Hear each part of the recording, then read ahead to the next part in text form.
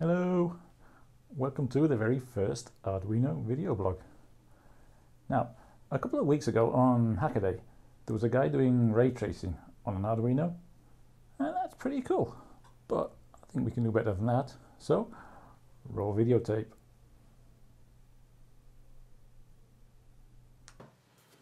Right, so this is an Arduino, and I'm sure you know it. It's based on the Atmel Mega 328 chip with 32k program memory, 2k RAM, blah blah blah. I'm sure you know the rest.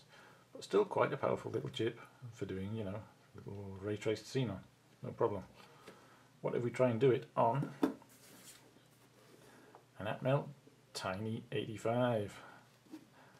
Now this is the, the baby brother of this chip. So it's got a quarter of the program memory, quarter of the RAM, obviously a lot less pins, you know, it doesn't have a serial port or whatever, but they are compatible. You can program this in the Arduino IDE and the code, same code will run on this chip and this chip. Very handy if you want to make a really tiny little project, use a Tiny 85. But resources are very limited. So let's see what we've got. On the other end of these wires, we've got a tiny color screen. It's running as an I2C device, as you see here, at address 27 connected to my Tiny 85 and the Tiny 85 obviously running on its uh, internal oscillator, there's no crystals, no nothing else. All you need is the chip, that's it. So if you want to make a project with a Tiny 85, yeah, just the chip on its own, good enough.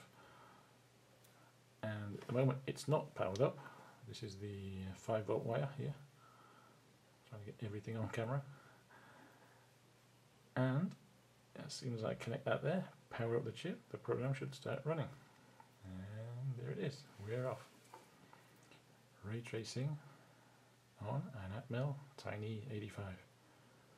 Now obviously it's not a very fast chip for doing this kind of work. So it takes a little while for the scene to appear. But as you can see, let's see if I can zoom in a bit. And I go past it, out of focus, there we go. We go, nearly there. A few more lines. And ta-da! Ray tracing on Tiny 85. And just in case you're wondering how fast a Tiny 85 is compared to a desktop PC, I'm going to run the exact same program on this laptop here. So I've got it set up. As soon as I press enter, it will open the file, run the program. Okay, three, two, one. Bang, there it is. You know, it's literally tens of thousands of times faster. And that's not terribly surprising. I mean, look at this chip. It's only running at 16 megahertz, whereas the PC runs at 1.6 gigahertz. So that's 100 times faster CPU clock rate. And also the PC does the math in hardware, and the Tiny 85 has to do it in software. Oh. And if we look at this page, it tells us exactly how slow that is. And this is a AVR2 instruction set on a Tiny 85. So to do an add, it takes 113 clock cycles, and the PC would do that in like one cycle. To do a multiply, 375 cycles, a division, 466 cycles.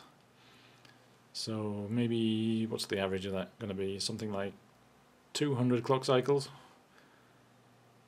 to do what the PC does in one or two cycles. So we'll call that 200 times slower, 200 times slower for the math, 100 times slower CPU clock rate, you know, that translates 20,000 times faster at doing math. You would need 20,000 Tiny 85s to do the same amount of work. And let's take a look at the source code.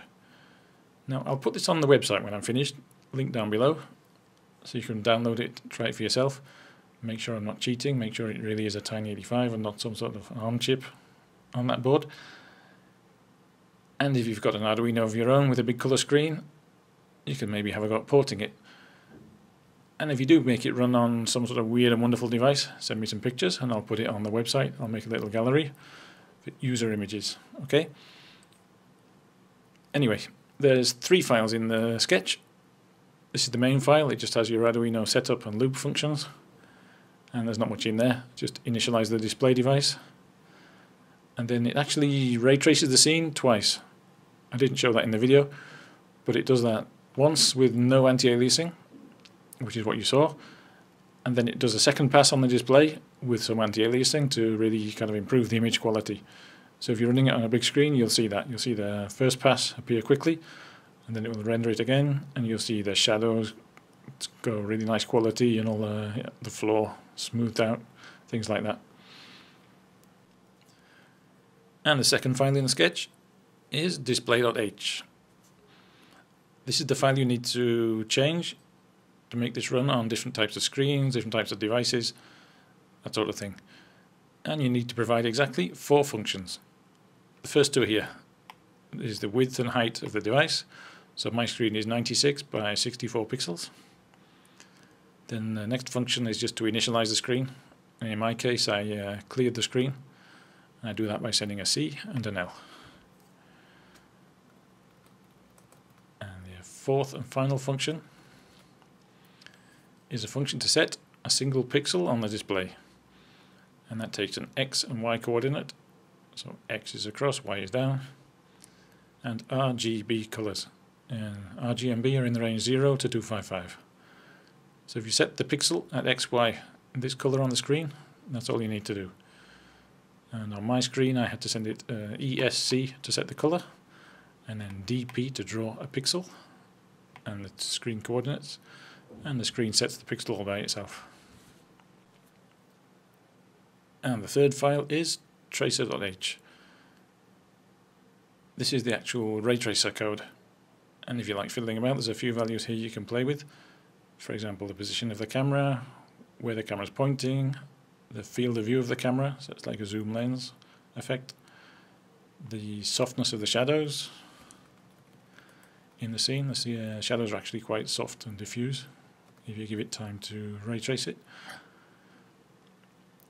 Here we've got the materials in the scene.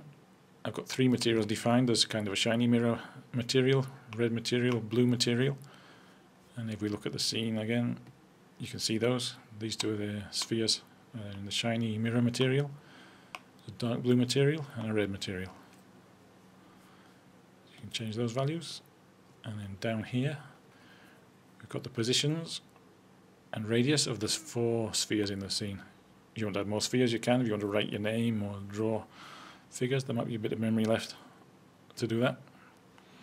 So one, two, three, four spheres and the final value here is the material it uses. So 0 is the first material, 1 the second material, and 2 is the third material in the list. And that's about it. All the rest is some vector math, ray tracing, and it's about how many lines? 324 lines. And it compiles down to 7,964 bytes. So there's about 200 bytes left. Plenty of room to add some extra spheres and mess about. And again, if you do that, send me some the results and I'll put it on the gallery on the website. Okay? See you there. So, there you have it, the very first Arduino video blog. Hope you enjoyed watching it. I mean, I had fun making it, so that's what counts.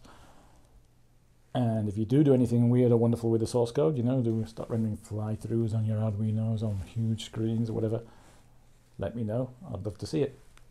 And if you like the video, subscribe, of course. And see you next time.